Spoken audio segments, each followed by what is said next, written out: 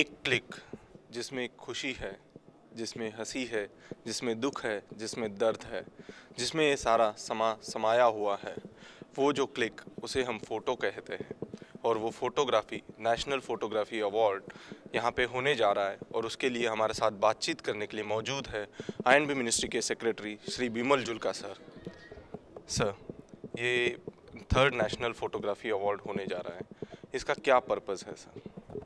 देखिए, हमारा ये उद्देश्य रहता है कि किसी भी क्षेत्र में जो भी है एमेच्योर और प्रोफेशनल आर्टिस्ट को इसमें प्रोत्साहन मिले। इस दृष्टिकोण से हम ये इनके पुरस्कारों का आयोजन करते रहते हैं। तो ये नेशनल स्तर की प्रतियोगिता है। तो तीसरी बार ये यहाँ पर आयोजित हुई है, जिसके लिए एक निष्पक्ष रूप से हमने जूरी का गठन किया था, जिन्होंने अपने फ़ोटोग्राफ़र्स का चयन किया है। और उनको आज ये पुरस्कृत यहाँ पे किया जाएगा। सर फ़ोटो डिवीज़न को कई सालों से फ़ोटो डिवीज़न काम करते आ रहा है। इसका बहुत बड़ा कंट्रीब्यूशन भी रहा है एक फ़ोटोग्राफी के डेवलपमेंट में। इसका जो ट्रांजिशन है इंडिया जो जो भी इसका जो हेल्प रहा है बहुत ही ज़्यादा कंट्रीब्यूशन रहा है। तो आपका क्या कहना है सर फ़ोटो डिवीज़न के फ्यूचर के बारे में या फ़ोटो डिवीज़न का किस तरह से अभी मिनिस्ट्री देख रहा है इसको? देखिए फ़ोटो डिवीज़न एक बड़ी महत्वपूर्ण कड़ी है हमारे पूरे सूचना प्रसारण क्षेत्र में।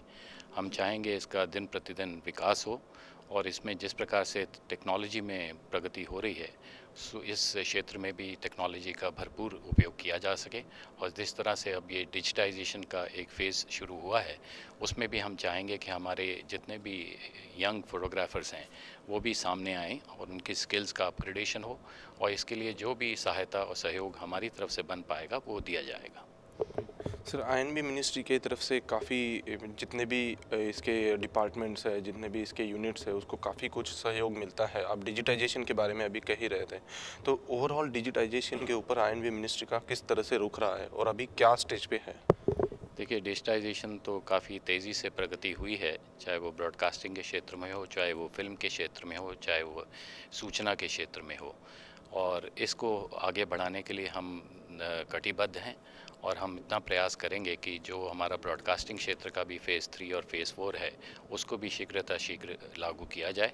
इसके साथ साथ आपको, आप अवगत ही होंगे कि जो नेशनल फ़िल्म हेरिटेज मिशन है, जिसमें हमारी पुरानी कई अच्छी प्रिंट्स जो हमारे पास पड़े हैं फ़िल्मों के, उनका भी डिजिटाइजेशन के बारे में एक योजना तैयार हुई है और उसको शीघ्र ही हम कैबिनेट स्तर पर ले जाएँगे, ताकि उसका भी क्रियान्वयन शीघ्रता शीघ्र शुरू किया जा सके।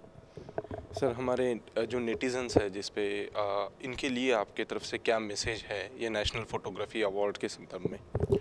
देखिए, ये तो मेरा ये कहना है कि ये बहुत ही महत्वपूर्ण कला का क्षेत्र है, जिसमें आप कैमरा के ज़रिए आप पूरी तस्वीर दुनिया की और जितनी भी उसमें कई विषय हैं, उनकी झांकी आप फ़ोटो के माध्यम से प्रतिलक्षित करते हैं।